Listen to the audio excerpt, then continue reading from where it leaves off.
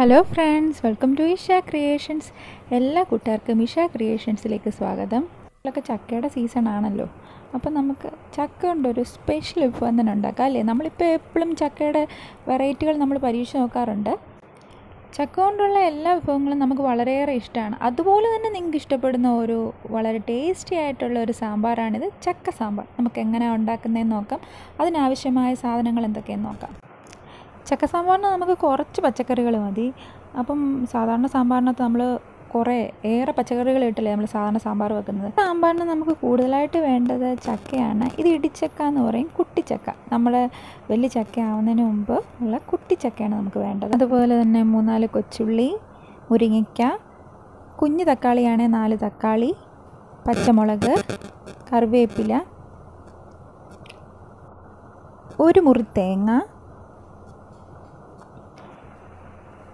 അല്പം പിഴിപുളി അരക്കപ്പ് തൂരപ്പരിപ്പ്.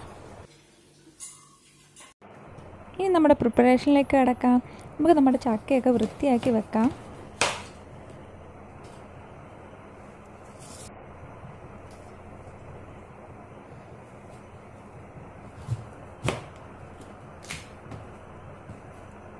കൊത്തച്ചക്ക എന്ന് പറഞ്ഞാൽ നല്ല കറയുള്ളതാണ്. അതുകൊണ്ട് നമ്മൾ ആ കറയൊക്കെ തുടച്ച് കളയണം. അതുപോലെ നമ്മൾ ഒന്ന് ശ്രദ്ധിച്ചോണം. നമ്മുടെ കട്ടിംഗ് ബോർഡിലൊക്കെ പെട്ടെന്ന് കറ പിടിക്കും. കഴിവതും കട്ടിംഗ് ബോർഡേ വെച്ച് അരിയാതിരിക്കുകയാണ് നല്ലത്.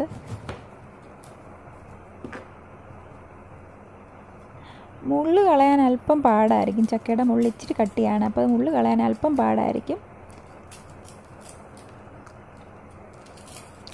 അപ്പം അഥവാ നിങ്ങളുടെ കട്ടിംഗ് ബോർഡ് ഉപയോഗിച്ച് കട്ട് മുറിക്കുന്നവരാണെങ്കിൽ കട്ടിംഗ് ബോർഡ് കറ പിടിക്കുകയാണെങ്കിൽ അല്പം ചൂടുവെള്ളം ഇത് നമ്മളെല്ലാം അരിഞ്ഞു കഴിഞ്ഞാൽ അല്പം ചൂടുവെള്ളം നമ്മുടെ കട്ടിംഗ് ബോർഡിൽ ഒഴിച്ചു കൊടുക്കുകയാണെങ്കിൽ നമ്മുടെ കറ അങ്ങ് പൊക്കോളും.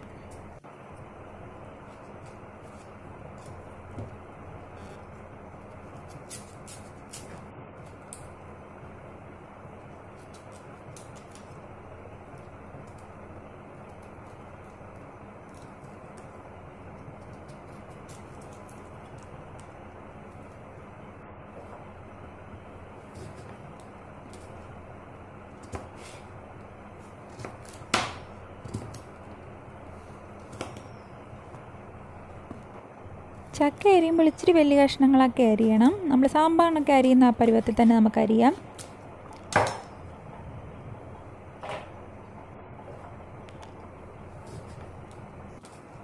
നമ്മളിപ്പോൾ എടുത്ത ചക്കയിൽ മുക്കാൽ ഭാഗം മാത്രമേ ചക്ക സാമ്പാറിലേക്ക് എടുത്തിട്ടുള്ളൂ. നമുക്കത് മാത്രമേ ആവശ്യമുള്ളൂ. നമ്മളെല്ലാം മുറിച്ചെടുക്കുകയാണ്. ഏകദേശം ഒരേ അളവിൽ മുറിച്ചെടുത്തു. ഇതൊക്കെ അത്രയും നമ്മൾ അരിഞ്ഞ് വൃത്തിയാക്കി വെച്ചിട്ടുണ്ട്. ഇനി നമുക്ക് അടുത്തത് നമുക്ക് തക്കാളി അരിയാം തക്കാളി നമ്മൾ സാധാരണ സാമ്പാറിന് അരിയുന്ന പോലെ അരിഞ്ഞ് വെക്കുക.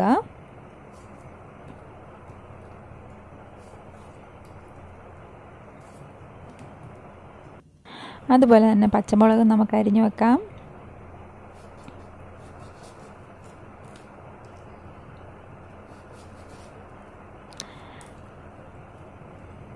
മുരിങ്ങയ്ക്ക് അരിയുമ്പോൾ പ്രത്യേകം ശ്രദ്ധിക്കുക.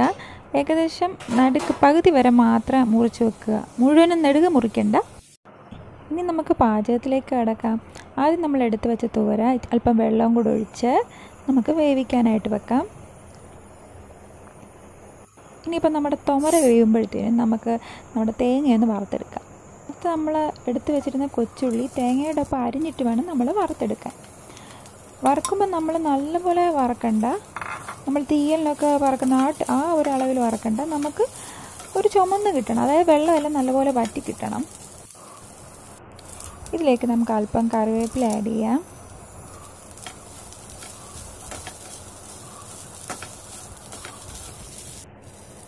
അല്പം വെളിച്ചെണ്ണ.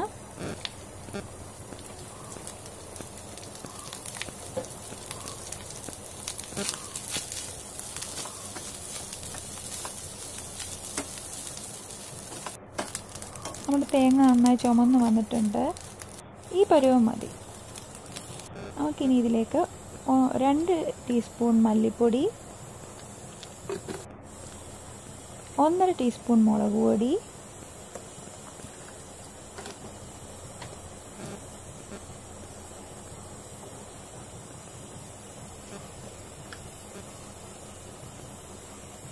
അല്പം ഉലുവാപ്പൊടി.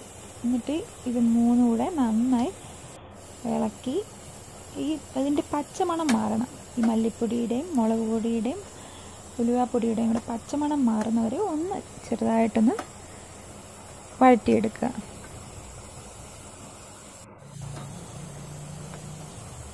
ഇനി നമുക്ക് ഫ്ലെയിം ഓഫ് ചെയ്യാം. ഇനി ഇവയെല്ലാം കൂടെ മിക്സിയുടെ ജാറിലിട്ട് നന്നായി അരച്ചെടുക്കുക. അടുത്തായി നമ്മൾ ചെയ്യാൻ പോകുന്ന നമ്മുടെ ചക്ക കുക്കറിലിട്ട് വേവിക്കുകയാണ് ചെയ്യേണ്ടത്. നമ്മൾ വൃത്തിയായിട്ട് അരിഞ്ഞു വെച്ച ചക്ക. ഒന്നത് വെന്ത് വരുമ്പം അതിലേക്ക് മുരിങ്ങയ്ക്ക തക്കാളിക്ക അതെല്ലാം കൂടി ഇട്ട് ഒന്നുകൂടെ വേവിച്ചെടുക്കുക.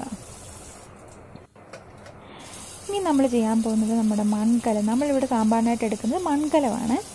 അപ്പം മൺകലം അടുപ്പേ വെച്ച് നന്നായി ചൂടാക്കി എടുക്കുക. മൺകലം ഇല്ലെങ്കിൽ നിങ്ങൾ സാധാ പാത്രം എടുത്താലും മതി. ഇനി നമുക്ക് മൺക നമ്മുടെ പാത്രം നന്നായി ചൂടായി വരുമ്പം നമുക്ക് എടുത്ത് വെച്ചിരുന്ന തുവര തുവര നല്ലപോലെ വേവിച്ചത് ഇതിലേക്ക് ഒഴിച്ചു കൊടുക്കാം.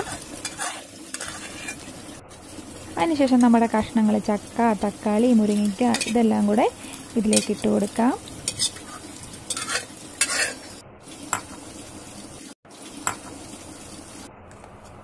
ഇനി നമുക്ക് എടുത്തു വച്ചിരിക്കുന്ന അരപ്പ് ഇതിലേക്ക് ചേർത്ത് കൊടുക്കാം.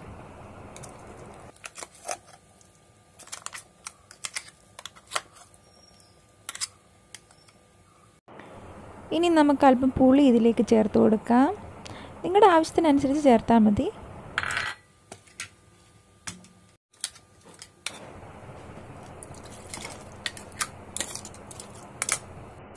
ഇനി ഇതെല്ലാം കൂടെ നന്നായി ഇളക്കി യോജിപ്പിക്കുക. ഇതിലേക്ക് ഒരു ടീസ്പൂൺ സാമ്പാർ പൊടി നമുക്ക് ആഡ് ചെയ്യാം. ചക്ക സാമ്പാർ റെഡി ആയി കഴിഞ്ഞിരിക്കുകയാണ്. ഇനി നമുക്ക് കടു വറക്കലിലേക്ക് കടക്കാം. കടു വറക്കാൻ നമുക്ക് ആവശ്യമായത് കറിവേപ്പില വറ്റൽമുളക് കടുക് ഉലുവ. നമ്മളിവിടെ കൊച്ചുള്ളി യൂസ് ചെയ്യുന്നില്ല. ഇനി നമുക്ക് കടു വറക്കാം. കടു വറക്കാനായി ഗ്യാസ് സ്റ്റൗവിലേക്ക് ഒരു പാത്രം വെച്ച് അതിലേക്ക് അല്പം എണ്ണ ഒഴിച്ചു കൊടുക്കുക. ഉലുവ ഇട്ട് കൊടുക്കുക. പിന്നീട് കടുക് ഇടുക. അത് നന്നായി പൊട്ടി വരുമ്പോൾ അതിലേക്ക് വറ്റൽമുളക് ഇട്ട് കൊടുക്കുക. ഇപ്പം കറിവേപ്പില ഇട്ട് കൊടുക്കാം. ഇനി നമുക്ക് നമ്മുടെ ചക്ക സാമ്പാറിലേക്ക് ഇത് ഒഴിച്ച് കൊടുക്കാം.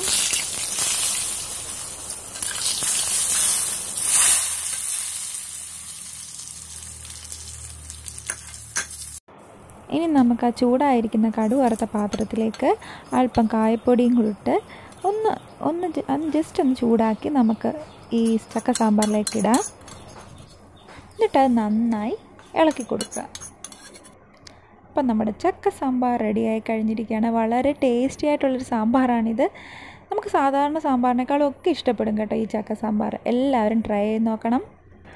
മാത്രമല്ല കൂടുതൽ വ്യത്യസ്തമായ വീഡിയോകൾക്കായി ചാനൽ സബ്സ്ക്രൈബ് ചെയ്യാനും മറക്കല്ലേ?